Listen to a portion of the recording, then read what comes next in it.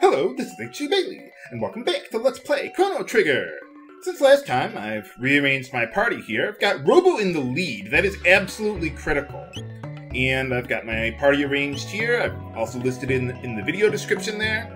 But yeah, it's really important that you have Robo in the lead, because past a certain point, you won't be able to switch your party member formation around. So, just something to keep in mind. Too late for that now. I wonder where it is anyway in this time period.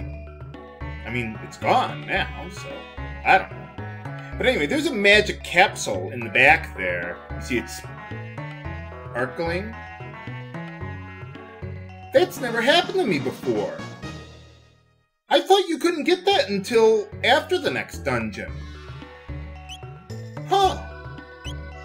I was going to say, you can't get it until after the next dungeon, but... Well, apparently I was wrong. Wow. wow. I'm learning so many new things from this LP. Okay, so we're done there, so let's visit the village commons, see how everyone's doing here. Yeah, pretty much. You're not. Yeah, we can grow, uh, potatoes here. Or something, I don't know. Kinda hard to grow anything on snow, really. I like potatoes. Baked potatoes, particularly. Not a fan of sweet potatoes, I'll be honest with you. Oh, thank you, Lavos, for clearing out the Ice Age here. How's it going? Yeah, yeah, a little better. Uh, what the? How did he survive?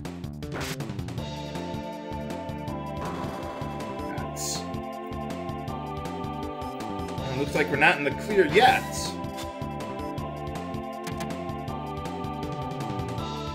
Disappointed!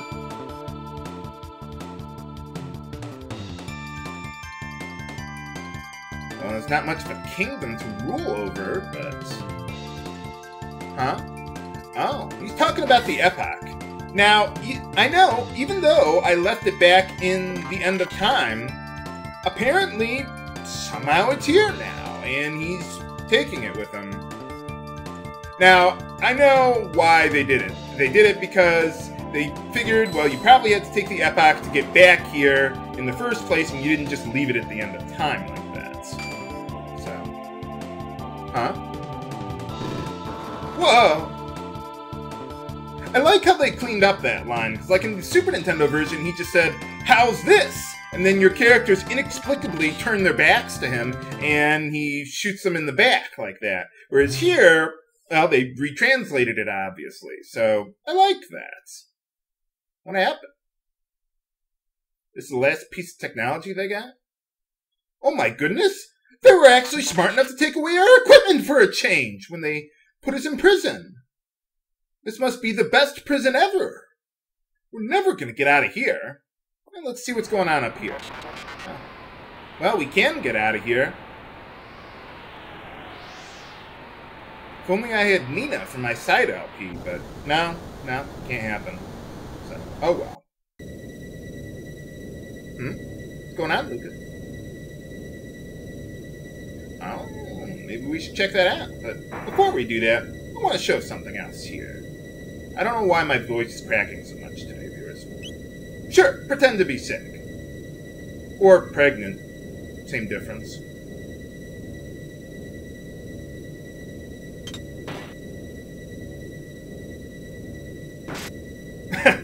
Dumbass. So yeah, that's another way you can get out of here. You can just pretend to be sick and leave, but, well, let's just say you don't have Ayla in your party.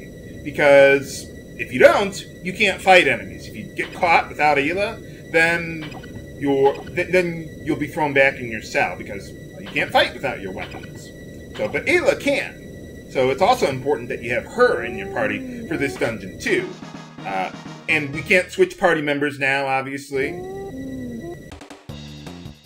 And well, yeah. So there.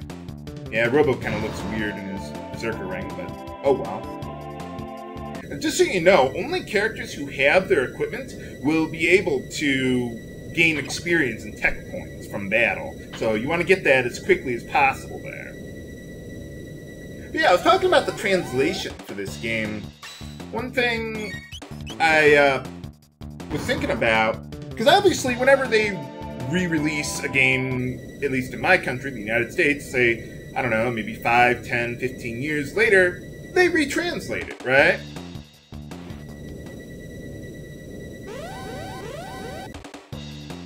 Because if, well, obviously a long time ago, well, translators, well, maybe weren't as well invested in, or maybe they didn't have the memory capacity to do a full translation. I mean, who knows? I mean, there's a variety of reasons why we may have not gotten a really clean, accurate translation. So they redo that, right? Perfect sense. I wonder if in Japan, when they do that, do they ever, well, not retranslate it, but I don't know, uh, rescript the game in Japanese? Because, like, I mean, I would imagine not. They could just take the script from the original game and just put it in the new one that they're remaking, right? So why bother? And let me show you something here. I want to use... Uh, is that it? Tailspin? Yeah, yeah, Tailspin. I want to show that off a little bit. But yeah, like, I know with, say, Final Fantasy IV, the original hard type version was meant for older children, right? Who were who had played RPGs before, they could handle the complexity of the game, and the vocabulary reflected that. I heard that the easy type version of that game, uh, only in Japan, by the way, the easy type version, not our easy type version. Uh, in Japan, the easy type version not only took out all the stuff that they had from the United States version of the game, but also they retranslated it to use uh, I don't know if less sophisticated is the right word, but less complex language so that younger children could more easily understand it. At least that's what I've heard. I don't know. I, I mean, obviously, I'm not in Japan. I've never played the game. I don't speak it, so I don't know. That's just what I heard. I saw a, a website where a guy was not retranslating Final Fantasy IV, but comparing all the different translations of the game. So I just found that interesting. But I wonder if they ever like re-script the game in Japan whenever they re-release a game there, or port a game or something. I don't That's. We better stop them before they destroy it. Well, six of them. Yeah, just a good fire two. Take care of those guys. Yeah, you just press the switch there, and it sends the conveyor belt in the other direction. Get out of there! Get out of there! Good. Oh, wait, that one's already going in the right direction. I might have been able to skip past those guys real fast if I tried. But I didn't feel like it. Now, before getting that treasure chest there, one thing I want to check out here. If you go up here without getting everything, yeah, they give you a little warning that, hey, we haven't gotten all of our equipment, items, and money back yet. So, I mean, I would imagine, I guess you could leave without them, but it would probably be a really bad idea. So, yeah, now we've gotten everything, but, well, almost everything. There is one more thing that I uh, want to get here. Once you've gotten all of the treasure chests in the dungeon, well, you can get another item it won't show up before getting all that stuff back. So you go up top. Oh, go back up top here. Uh, we're at the uppermost part of the dungeon. Haha! Yeah, there's a hidden treasure, the magic capsule.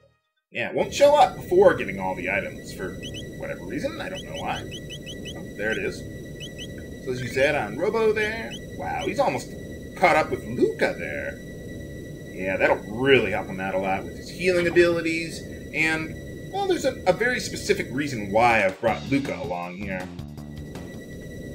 And Robo, for that matter, especially those two, and Ayla. I didn't just bring them just because. There's a good reason. Yeah, I figure I might as well take these guys out. But yeah, that room I passed up back there, uh, there's nothing in there. So I just figured, eh, let's just pass it up. There's like a ladder upstairs, I think. Whatever, I don't know. But anyway, here we got these guys. Let's see, what are they called anyway? I think they're called turrets, if I recall correctly. Well, we'll find out. Yeah, they're turrets, okay. They're essentially the same thing as rubbles, the way they work, except they can actually hit you, but it's negligible. They lock out all your techs, and if you manage to kill them before they run away, you get a ton of tech points. So I'm just going to fight all six of them off screen here, and I'll just meet you on the other side of the wing there. Okay, we're back. Well, I killed five out of six of those turrets before they ran away, so not bad, not bad. Okay, so first things first, uh, before moving on, once you've killed all six turrets, let's see, we want to get, ah, there's the speed ring on Robo there, and I'll equip Ayla with anything, it doesn't really matter. I'll give her the alluring top because I think it's sexy. So, okay, I think that's everything. Just uh, heal up a little bit there. Thanks for the kissies. And then, in order to progress with the plot, go as far to the left as you can, around the lower left area, and, well, something will happen. How big could it possibly be?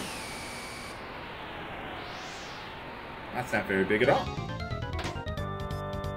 For boss time! Against the Golem Overlord himself. Overlord! Overlord! Overlord!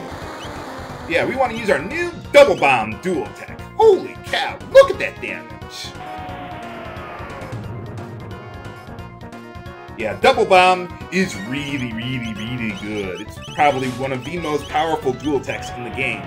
The thing, or er, yeah, the thing with that dual tech is it's dependent on Robo's position relative to the enemy. He'll only hit enemies who are standing near him. So that's why I wanted to have Robo in the lead of the party, because if not, then he won't be able to use Double Bomb. You'll have to go with, well, I'd probably go with Rapid Fire Fist and Blaze Kick, if you got it. Oh wait, no, we couldn't even do Blaze Kick, could we? Well, yeah, maybe Beast Toss would probably be better. Yeah, probably Beast Toss or whatever you want. But yeah, Double Bomb makes pretty quick work of it. So, alright. If you just sit around long enough, he's still not going to do anything, though. He's just afraid of heights or something like that. Well, give it some Red Bull? No. No.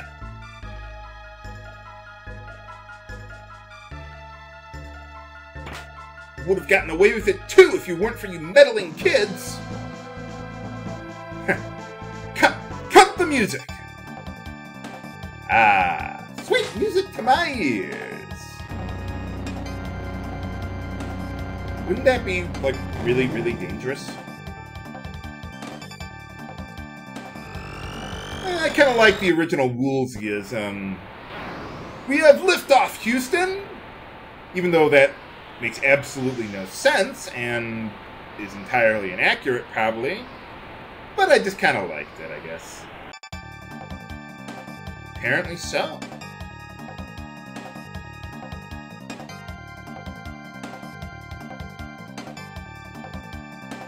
I like how he's like not even surprised that we've broken out of our cell.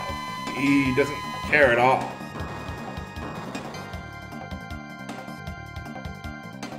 You're hitting your own shit, dude.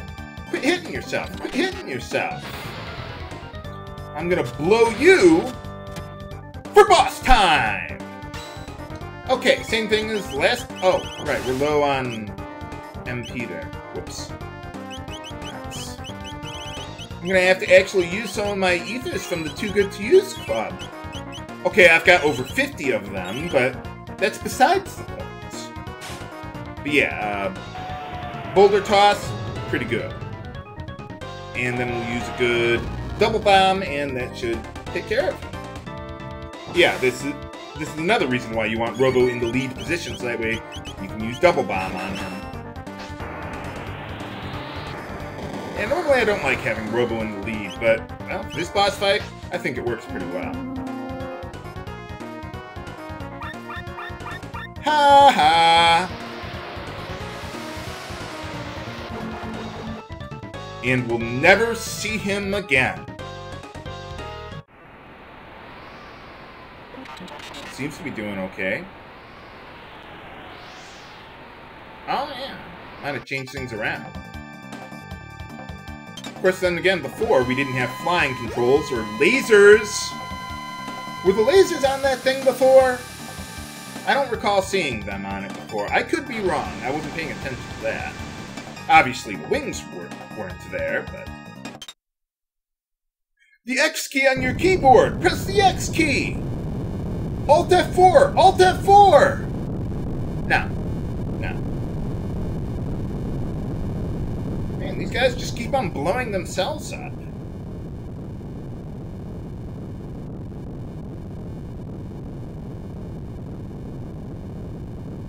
Ha. And don't tell anyone, though. This is a futuristic ship. Yay! We got my airship, just as I did in my other LP. How nice. Well, at least we got some free maintenance done on this thing. Okay, let's take a look around. Can we find any clues? Find out next time on Let's Play Chrono Trigger! This is HC Bailly, signing off. Have a good day!